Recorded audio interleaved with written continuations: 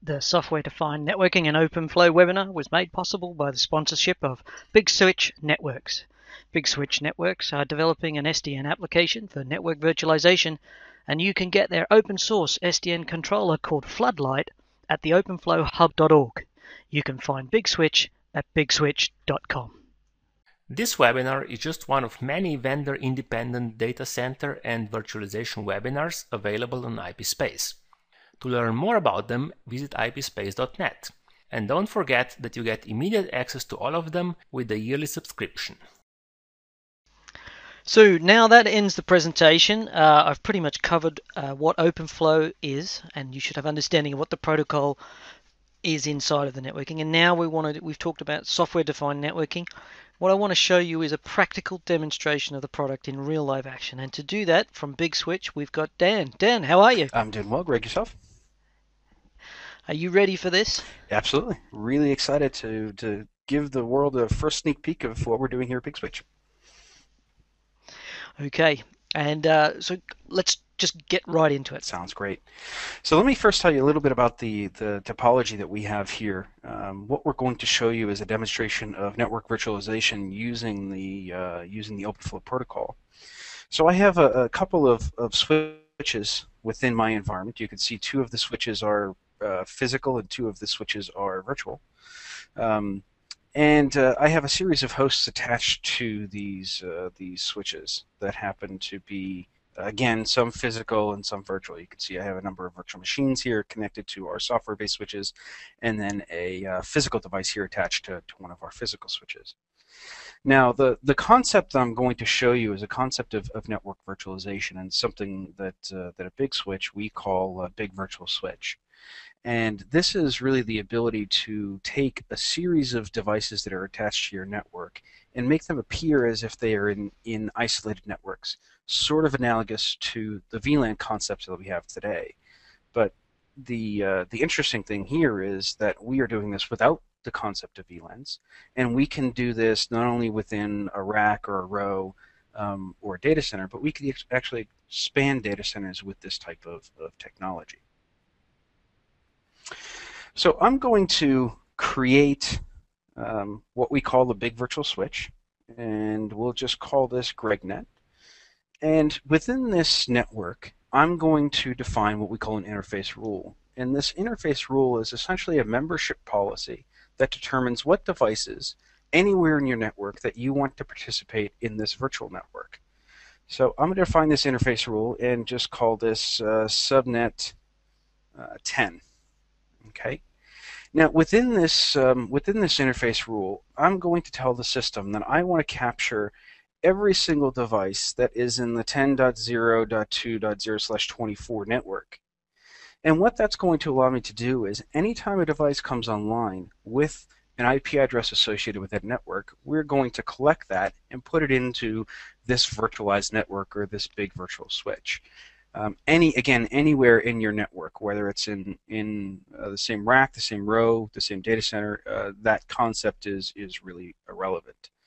So when I when I actually look at the um, at the BVS that we've created, I can jump in and now show the interfaces associated with that big virtual switch, as we call it.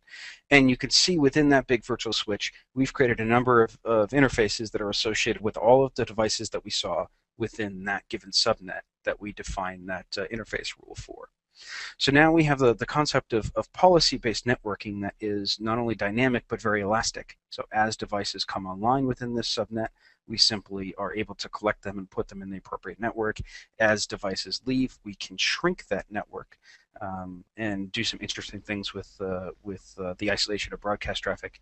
Um, and this really gives you sort of the, the second piece of, of um, the elastic workload concept, which is elastic networking.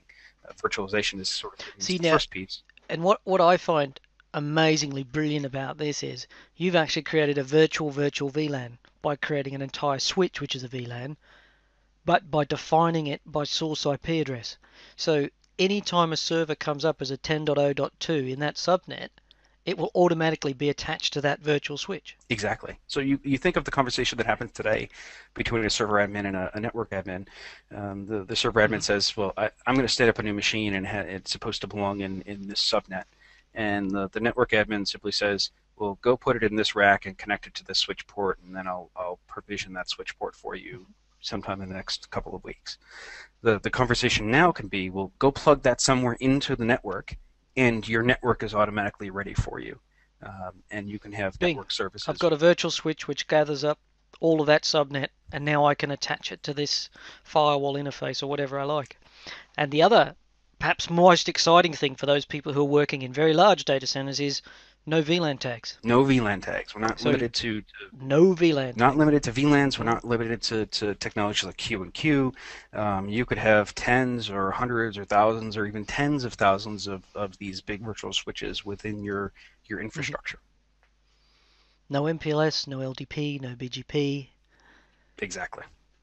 Now, one of the other um, things about this is, of course, is people will say, well, is it stuck to the physical port? But it isn't because it just looks for the source address, and the source address can be anywhere in the network. So with the flow table that we talked about in the presentation, the flow rule can be in every switch in your network if you if you need it to be. I, I- exactly. Uh, we we dynamically are uh, are monitoring the network, and if a device moves, say through the, the concept of, of vMotion, or somebody even unplugs a physical device and replugs it in somewhere else in the network, we automatically detect that as packets flow. Um, and of course, we have other mechanisms that we can uh, that we can leverage. And not quite ready to, to talk about today. Um, that are outside of the network to to allocate these uh, these uh, big virtual switches as well.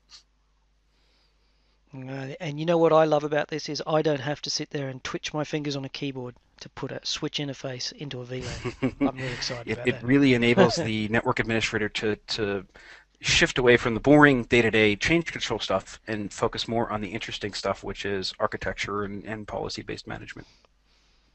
Indeed. Now, I want to point out that this is pre-release, so this is not quite the commercially available, but the demo gods have been kind to us today, Dan. Absolutely. but it demonstrates to you what it can do in the long term. All right, Dan, thanks so much for taking the time to give us a quick demo of the product. I'm really looking forward to seeing what it does in the next few months. Thanks for having me, Greg. To get more information about IPSpace webinars, please visit ipspace.net.